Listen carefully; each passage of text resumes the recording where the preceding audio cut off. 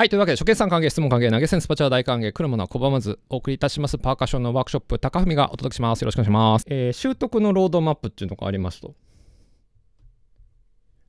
これはね、スティックだと、ちょっと、わかんない。スティックもね、まあ、この順番で言ってもいい気はするんだけど、ハンドだったら、まあ、これがおすすめっていう感じです。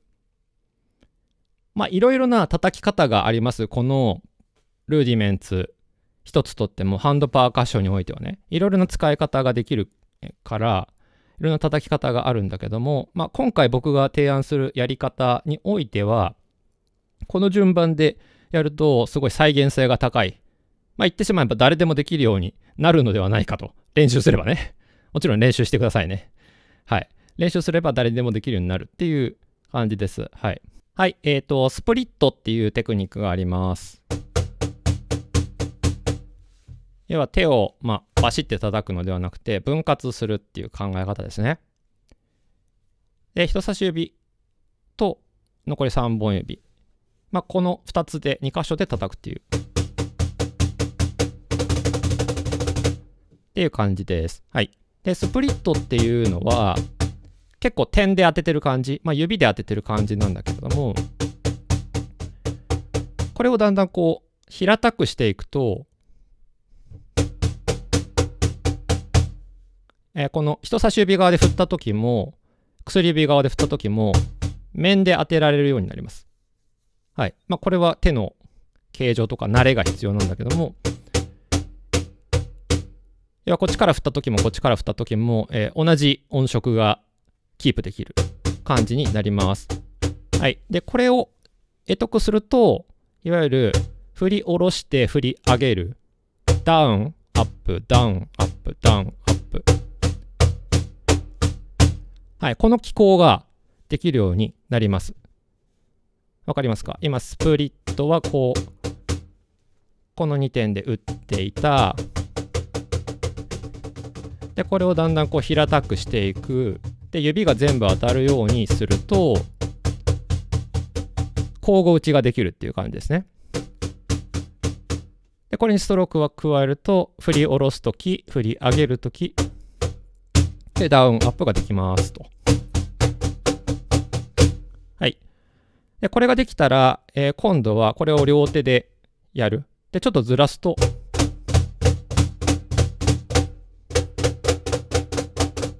これフラムって言います。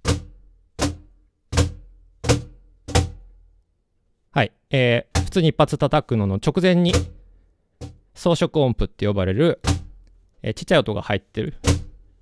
フラッタラッ、トラッっていうような、えー、ちょっとこう、音がダブるような音ですね。これができますと。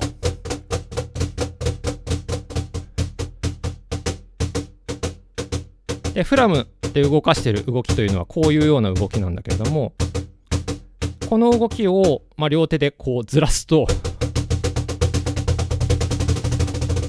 ダブル、えー、ダブルストロークというやつになります。ドラッグっていうのは、フラムありましたね、フラム。フラムの場合は、えー、このメインの音の直前に一発叩くっていう、一発ちょんって鳴らすっていう感じなんだけれども、えー、ドラッグの場合は2回叩きます。ちょんちょん、ちょんちょん。はい。まあ、いろんなやり方があるんだけれども、これを、えー、丸一番でやったスプリットでやると、比較的誰でもできる。つまり人差し指と、えー、この3本指でちょんちょん、ちょんちょん、ちょんちょん、ちょんちょん。これをメインの前につけると、こうなる。人差し3本指、右。人差し3本指、右。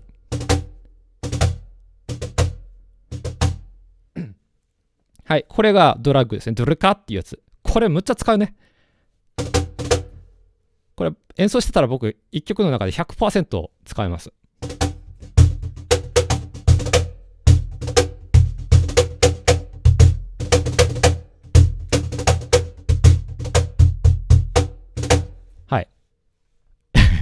もう今だけで10回以上使ったでしょ？はい。えー、ドラッグっていうのがありますと。で、ドラッグを、えー、交互にやるね。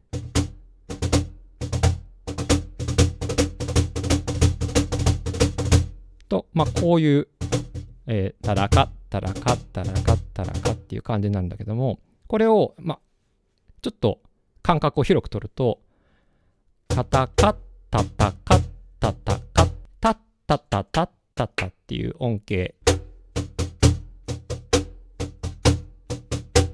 はい。もうここまでできれば、えー、この今、間が空いてる2段目だね。今、たったたたったたっていう感じなんだけれども、えこの2段目をちょんと叩けば、たたたた、たたたた、たたたた、たたたた。はい。これさっき言った RL、RL、RL、RL。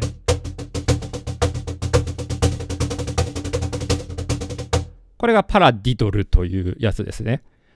だもんで先にドラッグっていうやつを習得してから、えー、その延長として考えるといいんじゃねっていう話です。もちろんね、好きなやつからやっていただいてもいいんだけど、一個一個の技術、このルディメンツで使ったテクニックは、あ、このルディメンツも使うなっていうのは結構あるんですよ。共通してる技術というか、この振り方、ストロークの仕方とか、まあ、スプリットの使い方とか、いうのがありますんで、えー、私のおすすめはこの順ですね。やるとしたらスプリットを覚えて、それをダウンアップにする。ダウンアップを使って、交互打ちでフラムにして、えー、さらに間隔をずらしてダブルにする。